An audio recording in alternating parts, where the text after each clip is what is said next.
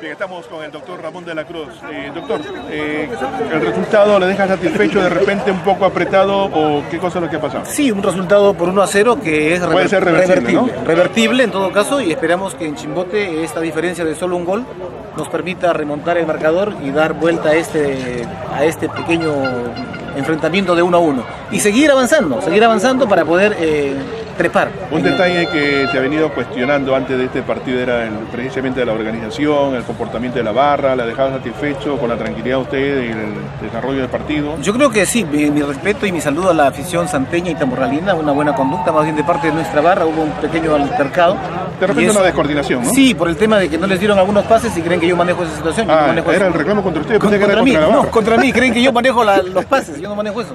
O sea, maneja el organizador. ¿no? Perfecto, doctor. Entonces todo tranquilo. Ahora organizar eh, por parte de ustedes el partido de revancha el próximo domingo en el Estadio Centenario. Y creo que sí, o sea, Galvez en este segundo tiempo mejoró, mejoró bastante, pudimos empatar, diría yo. Preocupado sí un poco por el arbitraje. El arbitraje como que nos puso la cancha eh, de su vida, de su vida, a favor de ellos en todo caso.